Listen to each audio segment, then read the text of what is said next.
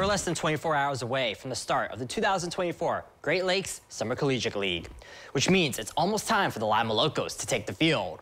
And for the Locos, after coming off their seventh GLSCL championship last season, the defending champs return to Simmons Field with a new cast of players. Our Dwayne Scott has more with this season's local squad.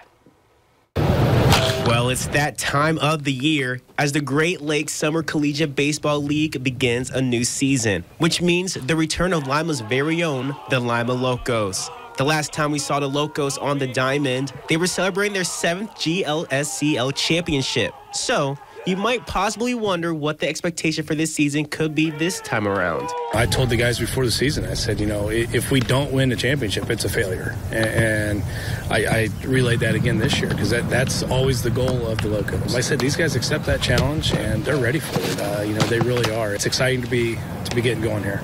The Locos had a busy summer adding a new group of talented players looking to improve their overall games. But for these two local players, this opportunity means a little bit more. It's a blessing. Like, I'm so excited. Uh, I've been going to I went to Locos camp every year I could. Um, been to all the home games, so it's like it's a surreal experience to come back and actually get to put the uniform on versus sitting in the bleachers. Just being close to home, kind of having that opportunity for my family and like all my supporters to come watch and be able to come support me like they did in high school. So just uh, closer to home and a better option. Winning with a whole new set of players is not as easy as you think. There is more to winning that meets the eye, and it's even more challenging when you have to pull everything together in one summer a lot of times with, with summer ball like this is how quickly can a team gel? How quickly can they get acclimated to wood bats? And, and then it just comes down to performing. When you have competitors with talent and, and they have the desire to win as well. Yeah, it's awesome. You know, you get to play with guys all over the country, and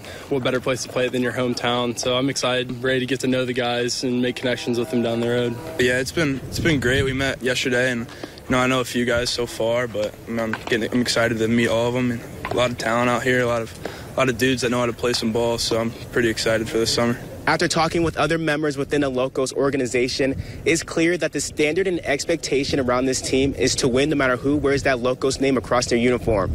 Catch the team as they look to build upon last season's success tomorrow night right here at 7.05 p.m. against the Michigan Monarchs. Reporting in Lima, I'm Dwayne Scott, your News Now Sports.